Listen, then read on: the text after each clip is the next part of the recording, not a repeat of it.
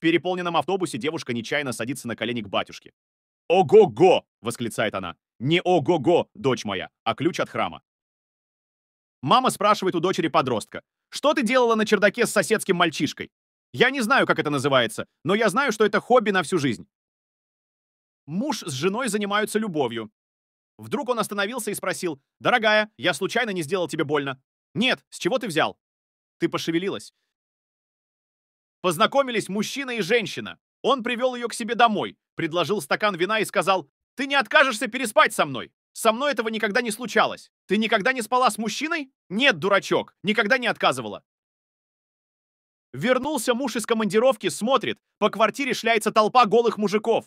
Пьют, в карты режутся. Забегает муж в спальню, там на кровати его жена и куча голых мужиков. Муж остолбенел. Жена, увидев его, говорит, «Ну вот, сейчас начнутся упреки, подозрения.